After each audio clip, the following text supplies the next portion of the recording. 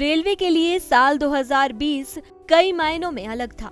Corona महामारी के चलते जब ऐसा पहली बार हुआ कि रेलवे ने यात्री संबंधी सेवाओं को लगभग छह महीने के लिए बंद किया, तब किसी को यह अंदाज़ा नहीं था कि इसके बाद रेलवे लोगों के लिए सुविधाओं और यात्रा अनुभव का बेहतर विकल्प बनकर उभरेगी।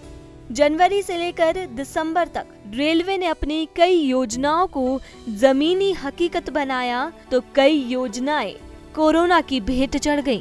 हालाँकि साल के अंत तक रेलवे का दिल्ली मंडल एक बार फिर नए साल में नई योजनाओं और यात्रियों के सुगम अनुभव के लिए प्रतिबद्धता दिखाने के लिए तैयार है जनवरी फरवरी, जैसा मैंने आपको बताया, उस दौरान तो हमारी योजनाएँ जो हैं पिछले वित्त वर्ष की कंटिन्यूशन में पूरी तरह से एकदम अपनी ठीक पटरी पर चल रही थी।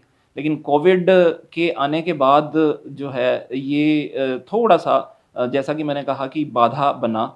और ऐसा नहीं है कि सारी योजनाएँ पूरी नहीं हुई, काफ़ी सारी सिरे चढ़ी, परवान हुई।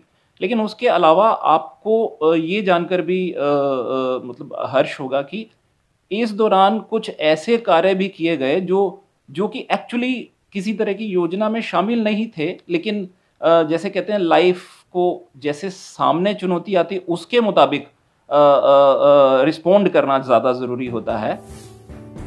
उत्तर रेलवे भारतीय रेल का सबसे बड़ा जोन है।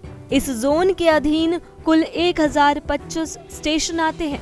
जोन का दिल्ली मंडल सबसे खास माना जाता है। शायद इसीलिए भी कि दिल्ली देश की राजधानी है। नई दिल्ली स्टेशन देश के सबसे बड़े स्टेशनों में से एक है। दिल्ली मंडल के लिए भी ये खास है।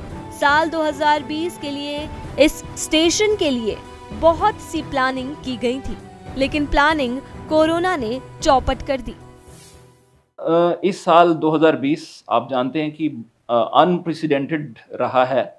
इसमें सबसे बड़ी चुनौती पूरे भारत को ही नहीं बल्कि पूरे विश्व को देखनी पड़ी, वो थी कोविड 19 कोविड 19 के चलते उत्तर रेलवे और दिल्ली मंडल दोनों के जो प्लान्स थे, उसमें उसमें एक तरह से बाधा के तौर पे सामने आया।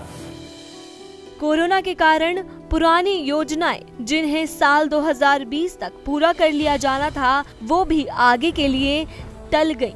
अब नई उम्मीदों के साथ नए साल का इंतज़ार है, जो ज़ाहिर है कि यात्रियों के लिए भी फ़ायदेमंद होगा। ज़ाहिर है कि साल 2020 का समय रेलवे के लिए भी मुश्किल भरा था।